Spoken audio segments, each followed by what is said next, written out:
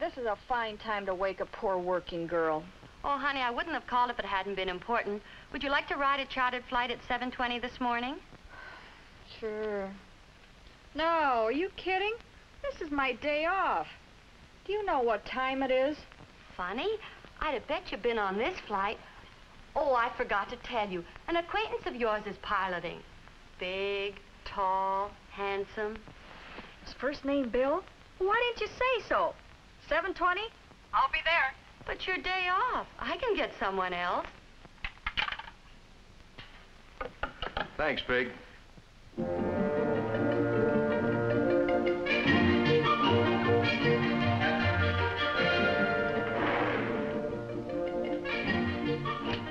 Seven twenty. I've really got to hurry.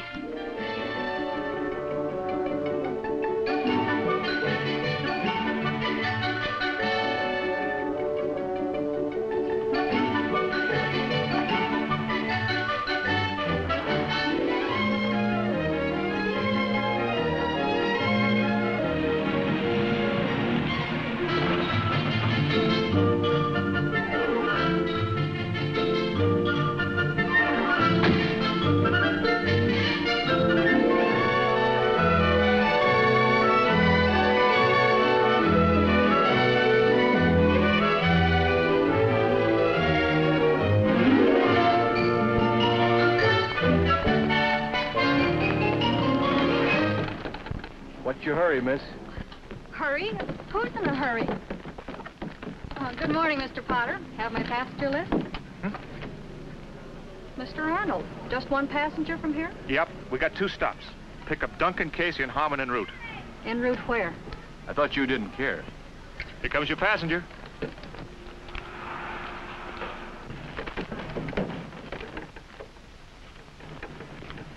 Uh, Mr. Arnold? Yes, good morning. Good morning.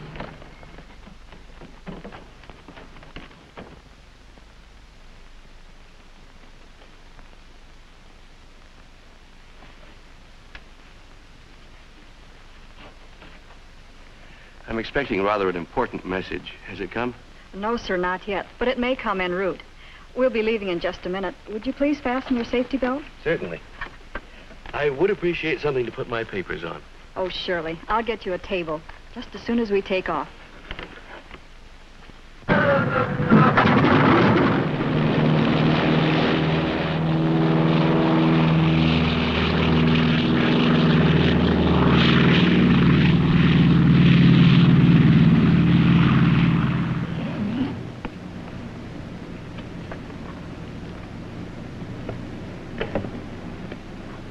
Anything else?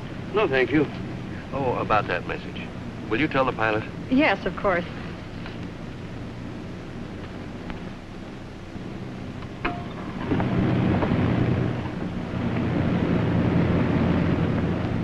Did you make our passenger comfortable? Don't I always? Oh, by the way, he's expecting a radio message. So? Who is he, anyhow? I don't know. Important papers, radio messages. Is he a Veep or something? Maybe he's a secret agent. You'd better keep your eye on him. Certainly, Captain.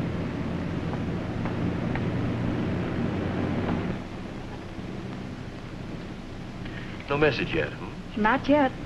Well, then, sit down. Let's chat. Thanks.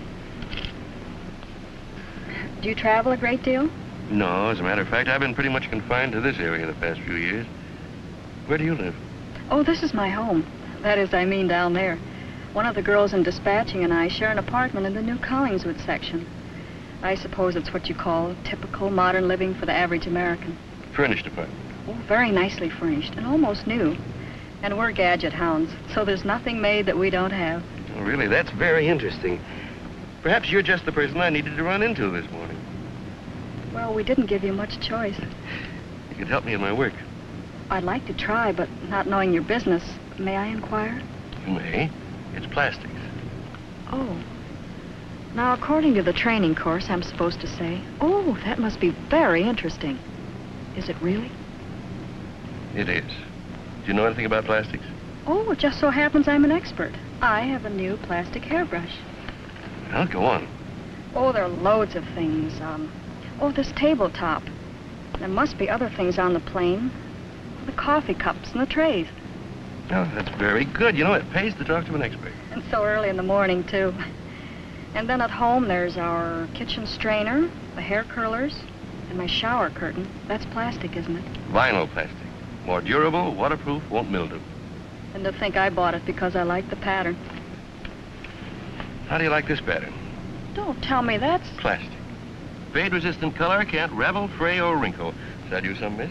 Sorry, afraid we're already equipped. All airplanes are. For example, the intricate wiring system has plastic insulation. Well, how about the pilot's control knobs? Very good. You get a double point for that. Double point? What do you mean? It's a game. You get double points for the toughies. Plastics hidden behind the scenes. Like the plane's bulkheads, little known things. Um, how much for a plastic playing card? One point. Toilet articles, plastic bottle tops, things like that. When they're too obvious, you get only half a point. There must be lots of double points up in the cockpit. More all the time. And not only on planes, but on all means of transportation. Take your car, for example. Ever make a fast stop? You should have seen me this morning. I was really in a hurry, and then one of those lights changed. Was I glad I had good brakes? Well, now, you might not have been able to stop that easily before brake linings were plastic bonded. Phenolic resins are one of the keys to safety stops. Brakes that hold, but don't lock. And for years, automobile distributor caps have been molded from plastics. And that's not mentioning colorful seat covers or the upholstery in your own convertible or the molded trim and welting. Why, you can actually say that a modern car starts, runs, and stops with plastics in one form or another. Better vision in cars today, too, You're right. My windshield's larger. and it remains clearer. But I don't suppose you're old enough to remember the problems we had with the first safety glass. Oh, yes, I do. The glass in my dad's car got so discolored and hazy you could hardly see through it. That was before safety glass was perfected, with vinyl plastic sheeting sandwiched between two pieces of glass. Score a double point for you. Say, I've got one. My large rear view window. That's all plastic, I know. Flexible vinyl sheeting, to be specific. Here's where I pick up some fast half points on you. There's my horn button and the cigarette lighter. Well, half a point is right. That's all you get for gadgets. I like plastic gadgets. They're useful. They are, but plastics were doing important work long before people found their usefulness for gadgets. Well, it's a point and a half anyhow. That was just on my ride to the airport. Remember, this is a new game for me, and I'm sure you've been playing it for years.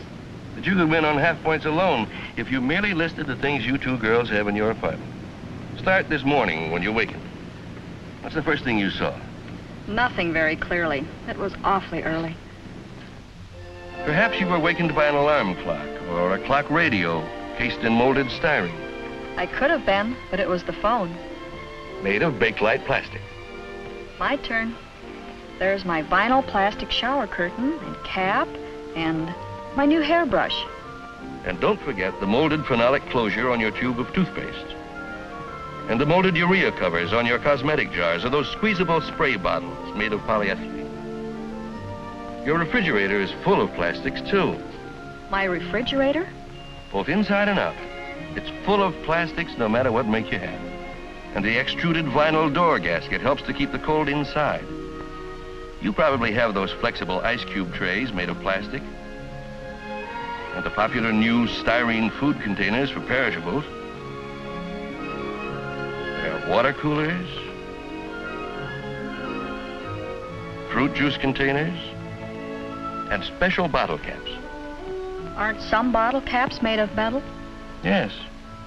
But even the metal ones have a vinyl plastic seal inside to prevent oxidation and spoilage. Paper milk bottle caps and milk cartons are coated with tasteless, odorless vinylite resin to make them leak-proof. By the way, do you have an electric toaster? Do I? It's a wonder I didn't burn my fingers on it the way I was hurrying around this morning. Plastic phenolic handles kept you from burning yourself. When did you use an iron last? Oh, practically every night when I'm home. Well, then you know how the molded plastic handle fits your hand and insulates you against heat and electricity.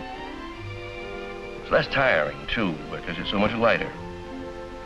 Or take something simple, like a bread wrapper. Plastics again. Bread wrapper? But I thought they were made of wax paper. They are. The polyethylene resin is added to the wax to make the paper coating stronger and to provide a stronger heat seal that ensures a tight package. Well, then, if it's used in bread wrappers, it must be good for dozens of other things. You're right.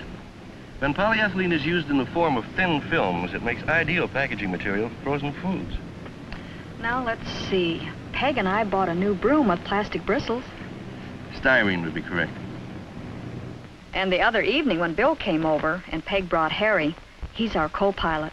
And Bill, I presume, is our captain? Yes, he's our captain. Well, we had supper and Harry, Harry spilled something. Don't worry, Harry. The tablecloth is waterproof. Yep, but the varnish, what about the heat?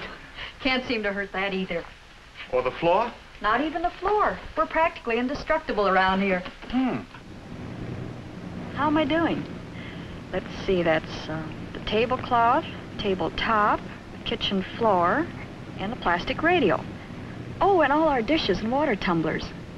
Well, then you served on plastic, too. Oh, yes. Peg had a set before I moved in. I like it. It's so practical and so colorful. And we don't have to worry about Harry dropping anything breakable. Is he apt to? Oh, oh, don't worry. He's a wonderful co-pilot. But he's, well, just big. Apparently, your tabletop and floor coating are made of one of the modern plastics. Well, that must be true of all our furniture, because we never seem to have any damage. Tell me, do you have television? Of course. But sometimes when the boys come over, we just play records. Harry's very musical. And Peg loves to dance.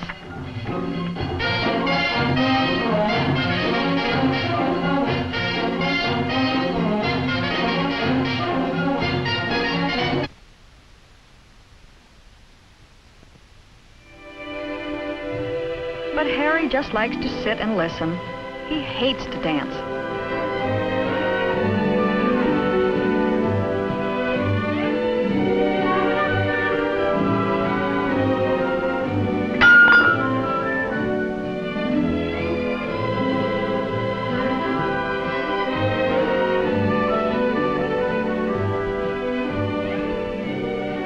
Bill and I, well, we just like to listen too.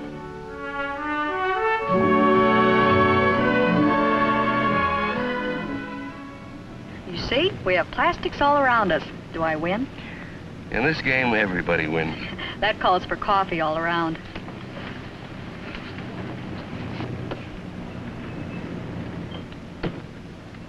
Any message? No, sir. Something important? Well, to me, yes. I understand you're quite a dancer. Yeah, I'm quite a... What? Coffee. Here you are, sir. Thank you. Here's one for Bill. Thanks. Boy, these cups sure are a dream to handle. Score two points for Harry. hmm Two points. For what?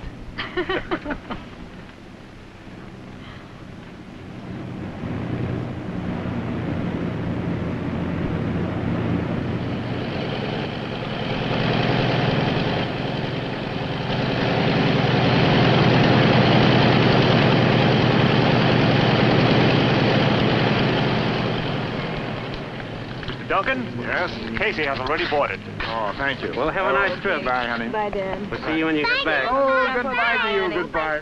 Here you are. You do, too. Thank you. Bye. Thank you. Now, you be a good boy, won't you, huh? Yeah. Bye. Coming back.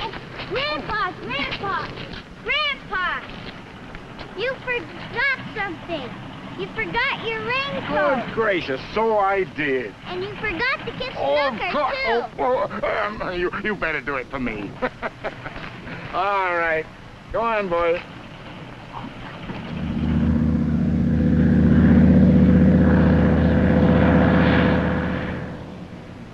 Magazine? No, thank you. You, sir? Would you like something to read? No, thanks.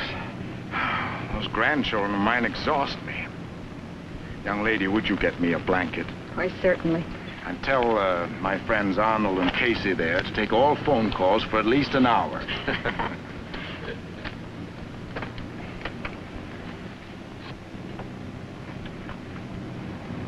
I have an important message. I'm hungry. Well, you don't have to scare us half to death. I'll get you something in just a minute.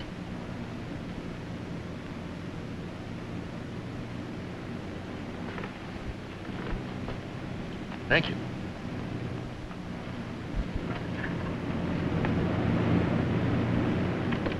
Uh, miss, uh, may I see that tray, please? Why, certainly.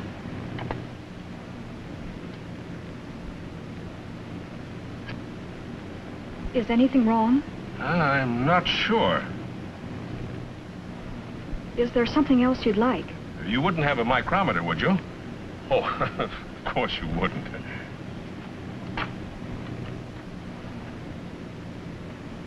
Is he always like that? A very dangerous case. We have to humor him. You know what he's doing? I'm afraid to guess. He's trying to break your tray. If he succeeds, no one knows what might happen. Good heavens.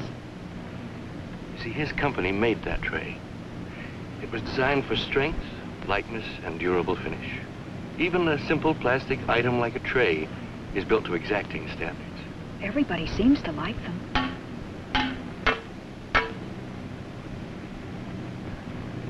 Casey isn't everybody. He's certainly giving it a battle. I noticed you all wear buttons with SPI on them. What does SPI mean? Something like FBI. Sure, and I'm Mata Hari. Give me five points if I guess what SPI stands for. Ten points. Society of Plastic Institute. Society of the Plastics Industry. No score. Mr. Casey, how about giving that tray another test? Did I miss something? How about heaping it high with a nice warm lunch? no, thank you. Later. But uh, sit down, young lady. I want to talk to you. I Warn you, miss, you'll deliver a lecture. This tray is a small item, but it's a fine illustration of why plastics are used for so many things. That's because plastics come in such a wide variety. They can be soft and stretchable, or hard and rigid, opaque and heavy, or transparent and light. Manufacturers like myself set up the requirements. Plastic material manufacturers make just the right plastic for that specific job. Now, uh, take this tray. You might think we just say we're going to make airline trays. Give us a standard material. Oh, no. In many cases, we tell them just exactly what that tray must be like, and they develop a formula exactly suited to that particular tray.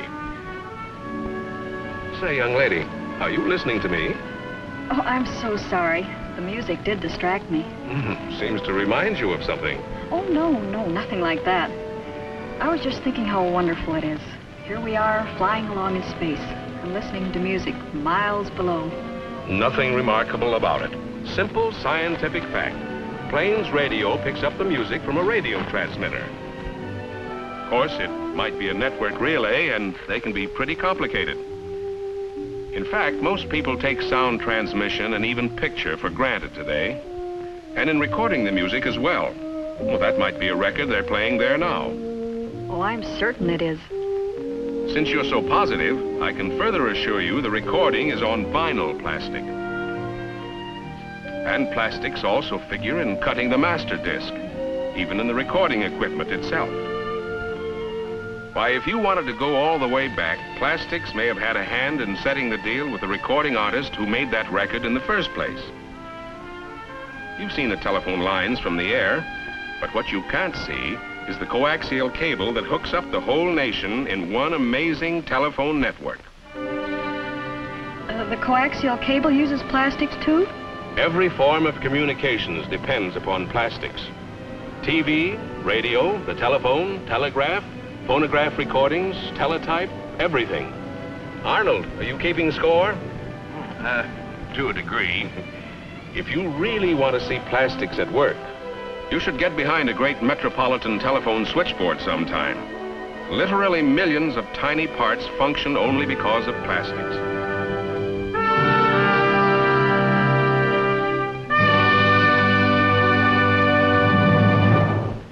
Oh, that was wonderful. Music or my friend's lecture on plastics? Why, both, of course. Uh, sit down, miss. I'm not through. You uh, know anything about that coastline down there? Yes, sir. Would you like to know where we are? Oh, I know where we are. But do you see those oil derricks out in the water? That oil equipment is protected against seawater, crude oil, air, sunlight, and most acids by vinyl and phenolic resins.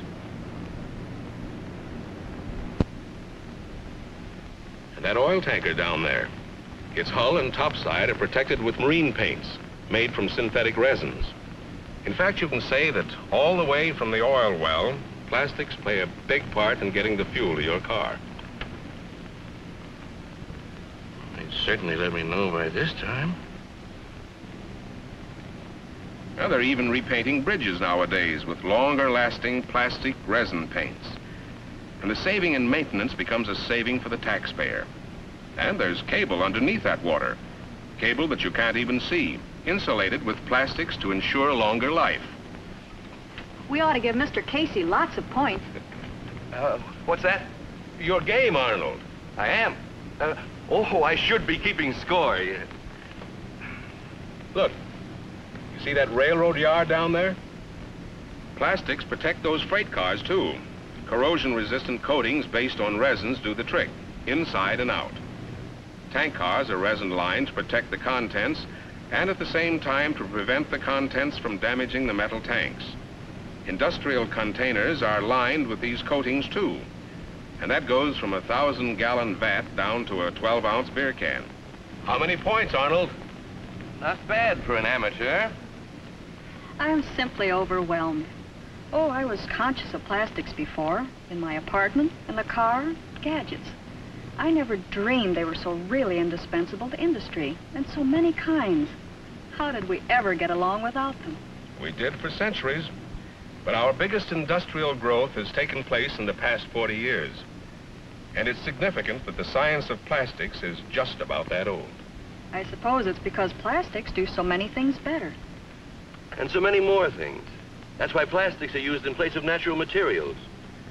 It would never occur to the average person switching on a light that plastics are used not only in the switch and the wiring, but in the cement that holds the glass bulb in the metal base. See that electric plant down there? How about the power transmitters and the big generators, transformers, and other installations? Casey will top me every time. But please, gentlemen, plastics can't do everything better. Now, can they honestly? That's true. And it's one of the jobs of the plastics industry to see that just the right plastic is used in the right application. You see, plastics can be made in such an infinite variety. They're almost like metal that way. Just as some metals are good for one thing and not another, so are plastics. Take an airplane propeller. You'd never think of making a propeller out of lead. It's metal, all right, but a very special kind of metal made for a special purpose. That's the way it is with plastics. We wouldn't think of using the same material for shower curtains that we use for telephones. Yet both are plastic. The right plastic has properties that make it superior. Your ship's captain, Bill Adams. I have a very important message for one of you gentlemen.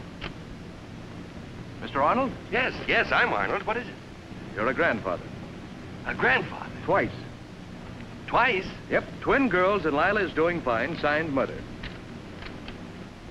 How do you like that? Twin girls. So that was the missing message. It's wonderful. It's remarkable, Arnold. Truly remarkable. It's a phenomenon. What do you mean phenomenon? It's my daughter. Did you hear that, Dunk? Two little girls. Uh-huh. Okay, gentlemen, we're about to pick up our last passenger, so please fasten your safety belts.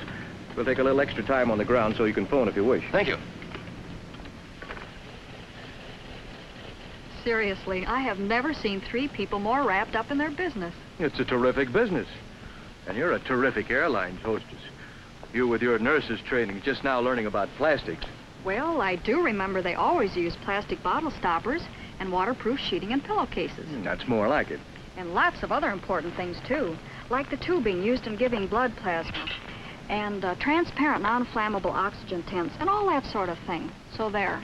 See if you can top that. Now, don't get me started on plastic. Go on, name one. I'll bet you can't score two little half points.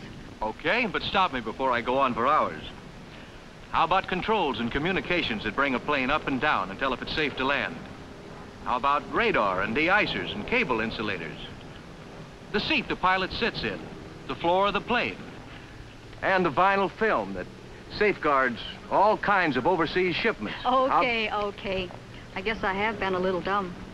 Well, I guess we can't all be experts. Oh, here comes good old Grandpa Arnold and our last passenger. Uh, a Mr. Harmon. Don't tell me he's a plastics man, too. Could be.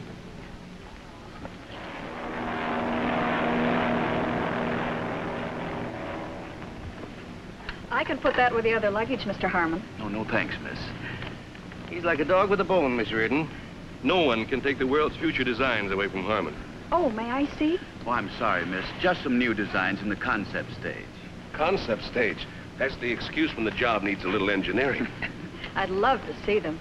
Well, I can't show these designs to anyone yet, but I can tell you what he really means. I happen to be very much interested. Well, then, design means the shape of things.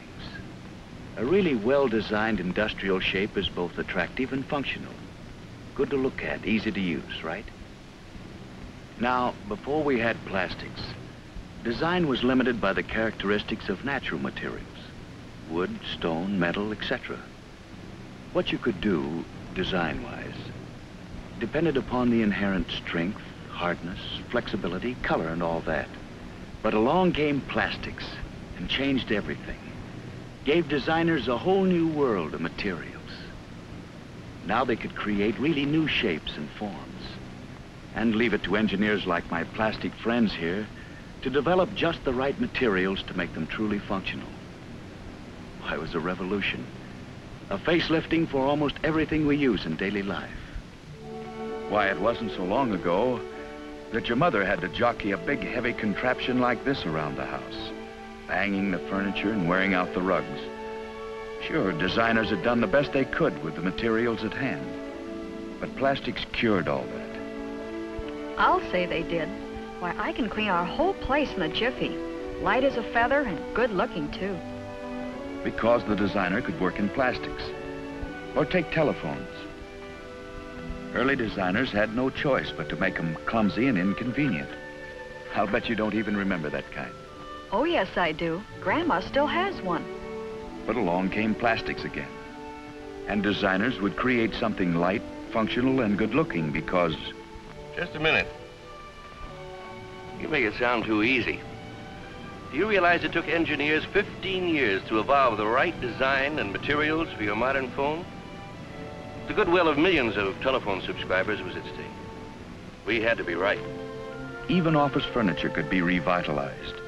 Not only in eye appeal and greater working efficiency, but woods laminated with plastic resins last longer. They don't warp, and it takes less fine finished woods to manufacture them. In an age when we have to conserve wood, that's important. Oh, I could go on for hours about the hundreds of design items that plastics have made possible. There's a never-ending parade of electrical appliances, for example, in which good looks are even less important than the heat protection and insulation that makes them so completely safe to use. And there are a lot of instances where plastics have been a perfect replacement for other materials. And these uses are becoming greater every day. But we designers aren't deliberately trying to replace other materials. In the packaging field, for instance, plastics simply make the designer's job easier. Give him almost unlimited possibilities in color, style, structure, and new functional utility. What other material can provide an unbreakable, squeezable bottle? Vinylite plastic materials can be made beautiful in all kinds of ways. Texture, pattern, color, dimension. But their true design characteristic is functional. They don't fade readily, won't tear easily or ravel, and they require no laundering. A damp cloth cleans them. Vinylite upholstery complements every color in the spectrum. And it's scuff-proof, snag-proof, and more durable than ordinary coverings. And while you're on the woman's angle, think of the freedom vinyl plastics have given fashion stylists. Now they can make an ensemble mildew and waterproof, as well as colorful, lightweight, quick drying all at the same time. That's true. So, without trying to change the face of the world, plastics have helped the designer to lift it up a good deal. And we really haven't even scratched the surface yet. Now I've got to peek. I'm sorry. You'll see them someday, I hope, when they have been proven. And when we figured out the right material. And we've figured out how to manufacture them. You see, it takes teamwork, my dear. I hope we weren't disturbing you. Couldn't sleep a wink. And I'll know who to call on if our meetings need sparking. And I'll know who to call on for cigars. Oh, then you heard the message. Twin girls, how about that? I told you I couldn't sleep a wink. You know, I've been thinking about my poor wife. For six solid weeks, she's done nothing but plan that nursery. You should see that room, Dunk. She shopped every store. There isn't a plastic item for babies that she hasn't got ready and waiting. But I accused her of not leaving enough room for even one baby, let alone two. She's gonna have to go out and do it all over again. I'll bet you pay for it. well, what do you think of this gang of lecturers? I'm fascinated. It's an entire new, a new world. We call it the Fourth Kingdom, the kingdom of scientific research, which gave us plastics. And I've seen it all happen with my own eyes within the span of my own years. But how is it all possible? There are so many products, so many different kinds of plastics. Why, it must be one of the biggest industries that's ever... It is. And it got that way simply because it fills so many, many human needs. We're passing over the Bound Brook plant right now. That's where we're headed. There are many great plastic plants all over the country. It's an industry that's vast in raw materials and equipment. But the real industry, the real heart of plastics, is in the minds of men. Men working in the many research and development laboratories, working on new materials and new uses for the materials we already know about. And manufacturers like my good friend Casey who have had the vision to see a whole new world of plastic products designed by other men like Harmon, oftentimes to completely new specifications. Specifications that are always changing to fit our rapidly changing world. But believe me, miss, over the years, I've seen many such changes. You've spent your whole life in this business? Oh, no, only 40 years of it. They told me it wouldn't be a steady job when I took it.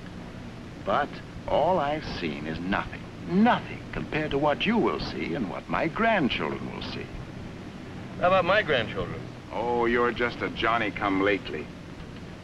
Wait until you're an old hand like me. They're wonderful. I saw them at the airport. You should see them on Christmas morning. I'll bet you play Santa Claus for them. That's my job. And even if I do say so myself, I give a pretty convincing performance.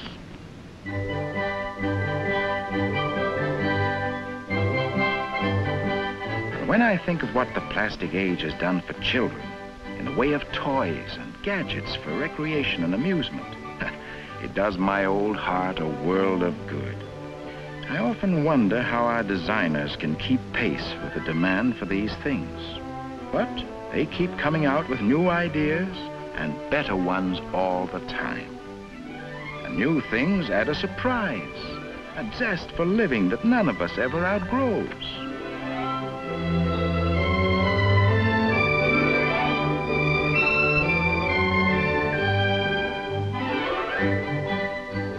Most of us are preoccupied with just the necessities, but we all have those cherished moments when the whole world opens up and smiles. From season to season, plastics contribute their share to the joy of good living. Winter, summer,